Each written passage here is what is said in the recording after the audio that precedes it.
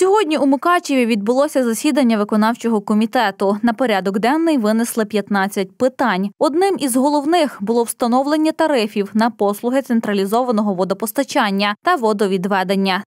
Зв'язку із значним ростом е, вартості електроенергії, яка є основною складовою е, тарифу, також із е, зв'язку з значним ростом паливно-мастильних матеріалів цін, зв'язку із ростом цін на матеріали та послуги, які в процесі надання даної послуги, також в зв'язку із ростом е, мінімальної заробітної плати та прожиткового мінімуму.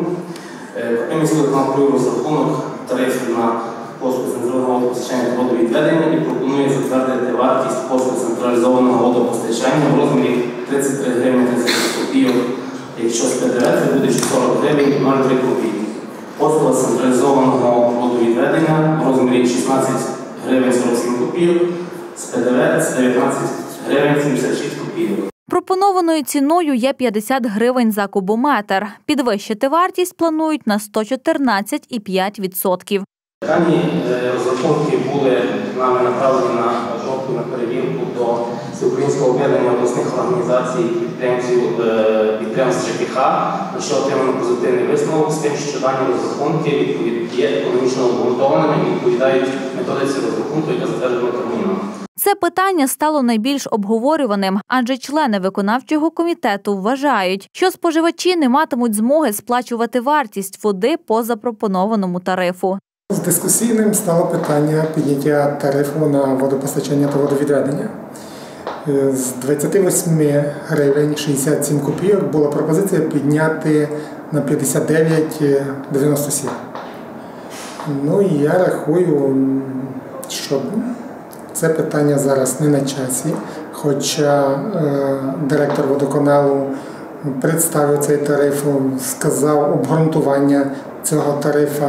Але людям важко, тому що війна. З цим питанням треба трошки почекати до закінчення війни, а потім вже піднімати це питання, щоб водоканал був рентабельним. Члени комітету пропонують переглянути ціну та адаптувати її під платіжоспроможність населення. Порівнянні Ужгород і Мукачево. У 21-му році у них була така ціна вже рентабельна. І вони собі два роки заробляли, піднімали, розвивали, щось робили. А ми ці два роки були постійно збитковими. І зараз трохи це порівнювати не можна. Проте, якщо ціна буде нижчою, підприємство буде збитковим, стверджують у міській раді. Водоканал не може бути постійно збитковим. Так само всі мешканці скаржаться на якість води, невчасну подачу води. Так само генератори, де поставлені, коли вони запрацюють. А для того, щоб все це працювало, звідки мають бути кошти? Звідки люди в 12 ночі, там, в 3 години мають виїжджати на а, якісь аварійні роботи. Рішення стосовно встановлення нового тарифу на водопостачання виконавчим комітетом не було прийнято. Що треба рахувати? Також для 11 жителів Мукачівської міської територіальної громади спрямували матеріальну допомогу на суму мільйон гривень. Матеріальну допомогу було виділено майже мільйон гривень. Це двом е, сім'ям військовослужбовцям, які загинули, захищаючи нашу державу. А також е, по 50 тисяч отримали хлопці, які отримали поранення так само на війні.